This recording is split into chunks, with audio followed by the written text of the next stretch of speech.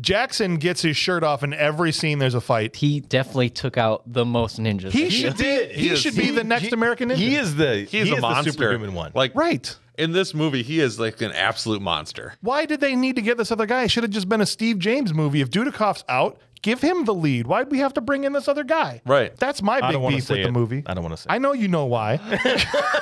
Are you saying it's because it was the 80s? Maybe Maybe Times were different They didn't back think then? that he could have carried the box office, but man, Steve James should have been. Steve James should have been the, ultimate- the lead. ultimate The fact that he had to play second banana to David Bradley, who I know Crazy. who I know has his fans. No offense to David Bradley, but this should have been Steve James's movie. This He- should- after Yes. doing two, he deserved it. Absolutely.